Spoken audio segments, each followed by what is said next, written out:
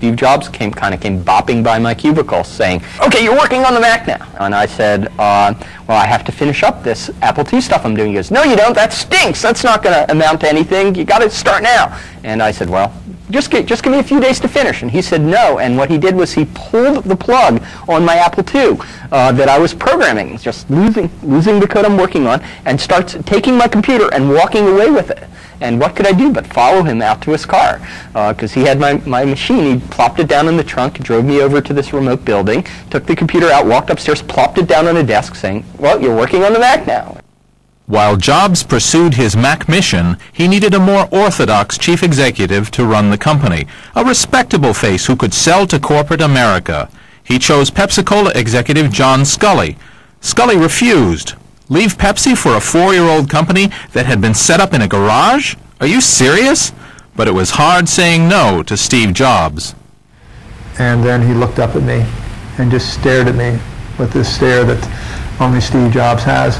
And he said, do you want to sell sugar water for the rest of your life? Or do you want to come with me and change the world?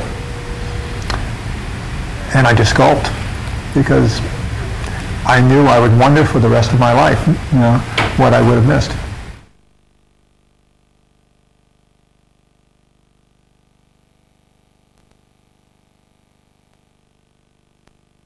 It didn't do very much. We had Mac Paint and Mac Write uh, were our, our only applications.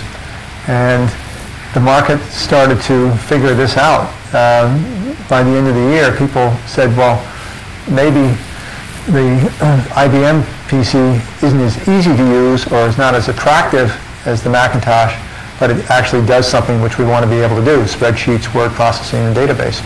And so we started to see the sales of the Mac tail off towards the end of 1984, um, and, and that became a problem the following year.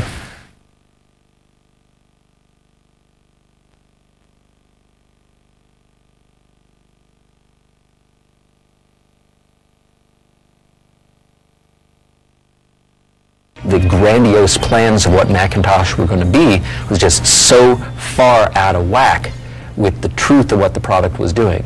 And the truth of what the product was doing was not horrible. It was salvageable.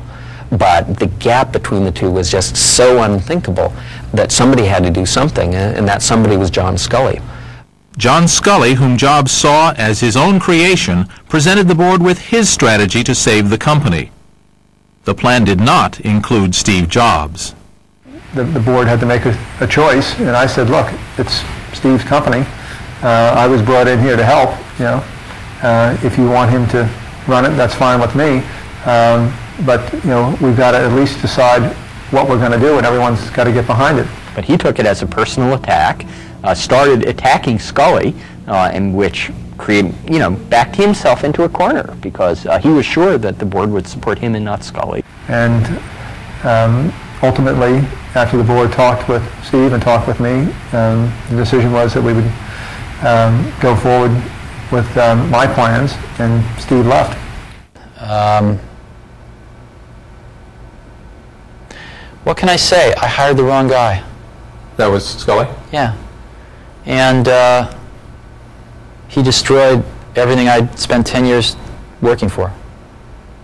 Um, starting with me, but that wasn't the saddest part.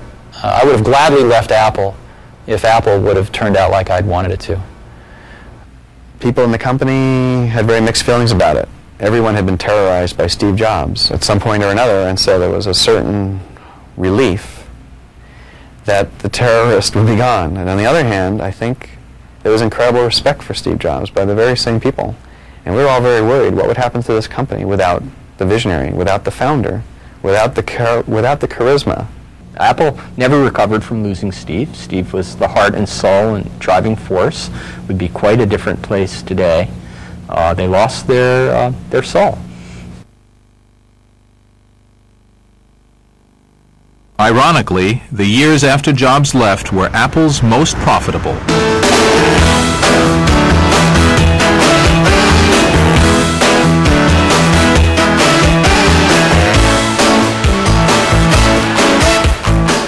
Apple people worked hard, they played hard. They made the computer business look like a beach party.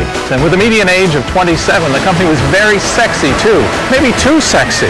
There was so much sleeping around that they came up with a travel policy back then that men would share rooms with other men on the road and women with other women just to settle it down a bit. They applied the California lifestyle to the computer industry, and the computer industry would never be the same again. Leading the forces of freedom is Macintosh. In this bizarre promo to inspire their sales force, Apple stressed that the Mac's ease of use could liberate the pathetic prisoners of the IBM PC. We'll fight them in the office and the classroom and the desktop with superior weapons. With improvements to the hardware and the boom in desktop publishing, Mac production went into overdrive. By 1987, Apple was selling a million a year, IBM numbers. Let's go get them. The Mac minted money. Half its $2,000 price was pure profit.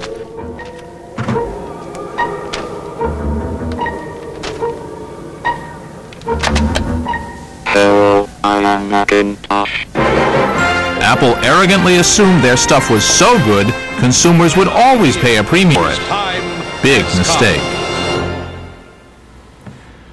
The Mac really ought to have won the battle for the desktop. Okay, it was more expensive than an IBM PC, but if what you wanted was a friendly, easy-to-use system, and surely everyone wanted that, then this was the only game in town. At least that's what the boys at Apple thought. But they weren't reckoning on one man, Bill Gates. Gates saw that the Mac's GUI represented a long-term threat to Microsoft's money machine, to DOS, the clunky operating system that sat inside every IBM PC.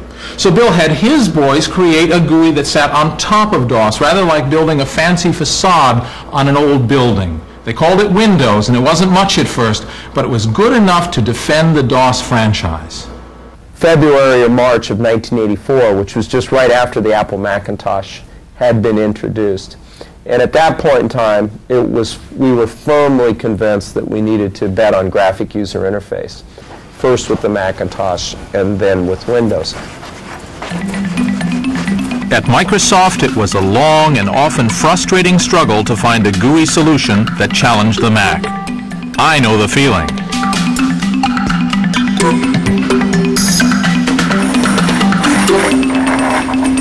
For years, teams of Microsofties slaved in their windowless offices to build Windows, refreshed by an endless supply of free sodas.